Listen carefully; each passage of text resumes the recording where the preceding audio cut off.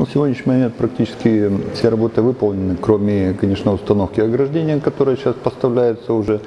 Э, На сегодняшний день уже пришли вторая партия, еще третья партия ожидаем, которая на спуске должна соединить уже с самого соединением. Э, Осталось э, три опоры, несколько светильников и также Возле Морской симфонии уже идет плиточное покрытие, которое закончится в ближайшее время. Ну и самое основное, э, работы дальнейшие не можем продолжать в связи с тем, что идет строительство частного паркинга, которое тормозит весь ход работ.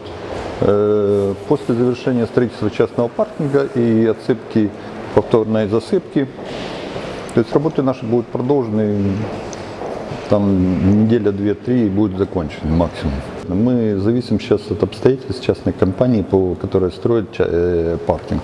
К сожалению, была одна информация, когда нам давали закончат, э, есть вторая информация, когда закончат.